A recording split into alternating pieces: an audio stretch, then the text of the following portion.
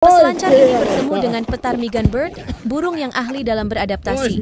Saat musim dingin, bulunya berwarna putih seperti salju, sementara di musim panas berubah menjadi coklat atau abu-abu sesuai dengan lingkungan sekitarnya.